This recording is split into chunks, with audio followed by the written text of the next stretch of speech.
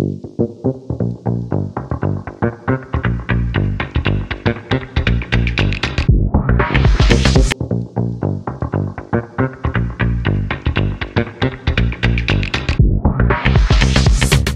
euh, arrêté devant Humanera. Une fois que le départ sera euh, donné, euh, ce sera un départ neutralisé. Donc vous allez traverser le rond-point, il y a les travaux. Et une fois qu'on a traversé le rond-point, la course sera lancée. Ok les gars? Voilà, bonne journée. Départ de l'étape à Saint-Laurent du Maroni. C'est la sixième. Raphaël Louton, le patron de ce tour, le leader est contesté. On l'a vu lors de la cinquième étape.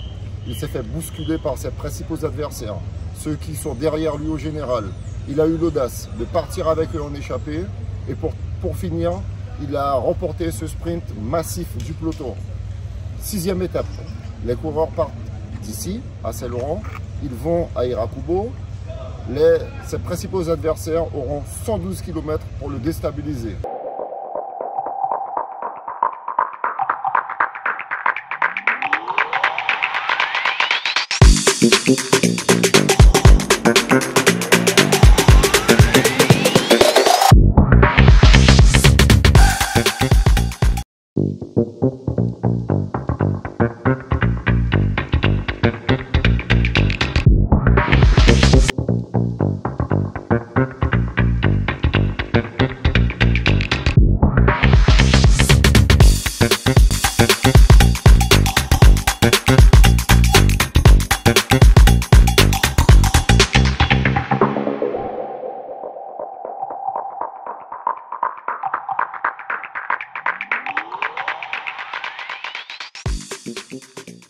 À 40 km de l'arrivée, un vent de panique souffle sur ce tour, car les formations de la Guadeloupe et de Chine sont aux abois. Ces deux formations sont aux abois, parce que Antoine Terrier, le Rafu compagnie, Antoine Terrier se retrouve dans un groupe à l'avant. Il y a 17 coureurs. On a des Guyanais, on a Adrien Boyer, on a Maurice Buzaret, on a Pierre Sponnet, on a le coureur Bonnet de la CDS Croix du Sud. Ces coureurs possèdent 50 secondes d'avance sur le peloton.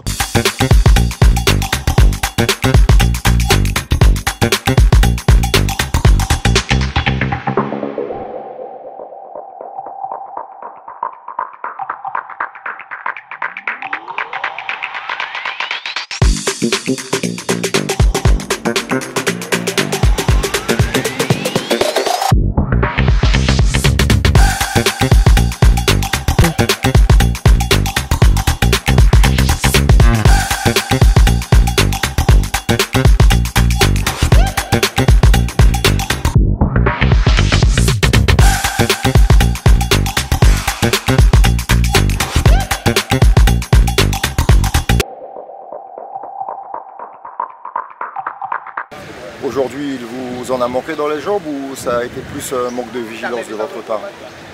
Bon, on va dire que ça a été un petit manque de vigilance. Bon, c'est quelque chose qui arrive. hein.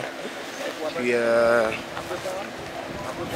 je ne vais pas dire euh, que nous sommes les perdants, on n'est pas les perdants, puisque la course elle se termine dimanche. Donc moi, tout ce que j'ai à dire, c'est rendez-vous à dimanche. J'espère que OCVO va,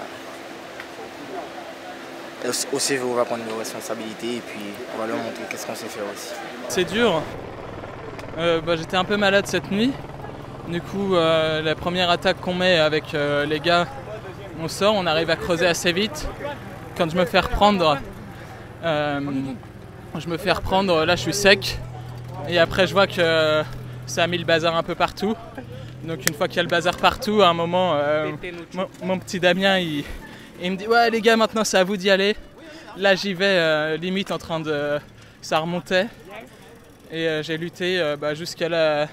J'étais vraiment en lutte jusqu'au carrefour de Mana, là, où on, on tourne à droite. Après, j'ai demandé aux gars de mettre un tempo pour aller jusqu'au bout. Après, dans le tempo, ça allait. J'ai pas sauté trop de relais, j'ai essayé de garder l'organisation de, de l'échappée. On avait trois grosses équipes métropolitaines représentées avec les borneurs qui ont fait un boulot de fou. Avec euh, Nancy aussi, euh, Emiliano Villa qui écrasait beaucoup, beaucoup, donc c'était sympa. Et euh, La Roche aussi euh, qui faisait, qui faisait un, gros boulot, donc ça c'était cool.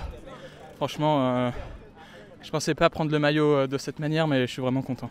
Bon, Edwin, tu es la vedette de ce tour. Déjà deux victoires d'étape, en plus tu as des porteuses. Raconte-nous comment s'est dessinée ta victoire. Ben, j'ai hâte 8 victoires pour la Martinique, plus une deuxième place hier. On est très satisfait euh, par rapport à, ce tour. Sur le début du tour, on était un peu, on va dire, euh, on petit à petit. Et là, on voit que c'est lancé. Euh, il reste jusqu'à dimanche pour voir euh, comment on fait pour bien jouer notre course.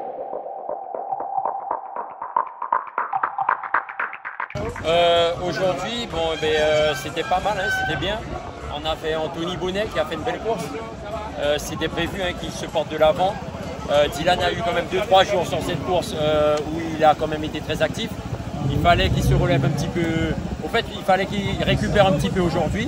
Donc, euh, bon, eh ben, pour la suite, on va voir comment, comment ça va se dérouler. Mais bon, on espère que la Guyane, avec les autres coureurs guyanais qui se repositionnent dans le classement, il y aura de belles choses avec Maurice Buzaré et les autres coureurs guyanais. Au terme de la sixième étape, le nouveau patron de ce tour s'appelle Antoine Terrier. Raphaël Lauton de la sélection de la Guadeloupe a perdu son maillot jaune. Entre Sosaba et l'arrivée à Erakubo, on a assisté à une guerre, une guerre entre les maîtres de ce tour.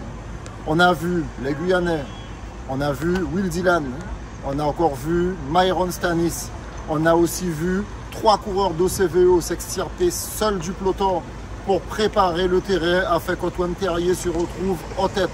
Antoine Terrier, nouveau patron de ce tour, faisait partie d'un groupe de 15 où figuraient 5 Guyanais. Il y avait Maurice Buzaré, il y avait Anthony, il y avait Boyer, il y avait Demonière, il y avait aussi Pierre Sponnet. Malheureusement, nous n'avons pas encore gagné d'étape. On a vu ici à Irakubo Edwin Nibul, levez les bras. Deuxième victoire pour cette sélection de la Martinique. Demain, un nouveau jour. Septième étape. Les coureurs partiront de Sinamari pour une arrivée à Kourou. On risque encore, sur cette étape, d'assister à un très gros spectacle, car il y aura beaucoup de vent sur cette étape. Et attention, les alliés de jour ne sont pas forcément les alliés de demain. Car c'est ce qui s'est passé avec cette sélection de la Guadeloupe. Ils étaient amis à plusieurs reprises avec l'équipe euh, british, l'équipe de Shields. Et eh bien demain, peut-être que ces deux formations seront ennemies parce que tout un chacun voudra préserver sa place pour regagner une place au général. Nous verrons tout ça demain lors de cette septième étape.